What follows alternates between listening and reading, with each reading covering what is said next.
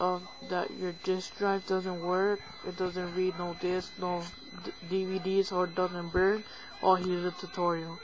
You have to go to the website, it's in the description.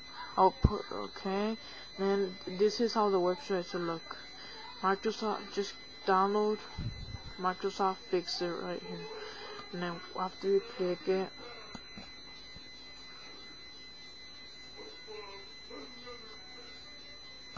um it, you should click on run. It doesn't matter you save it. Oh wow. You should save this as your favorite just in case if it happens again. So you can know the website. That's what I did. Saved it on my favorites.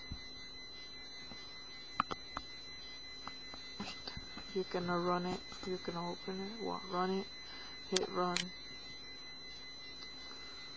Um I agree hit next next next. I don't want to do it because it's working fine but if it ain't do this. Then restart your computer and it should go back to normal. So that was my tutorial. Um alright. Thanks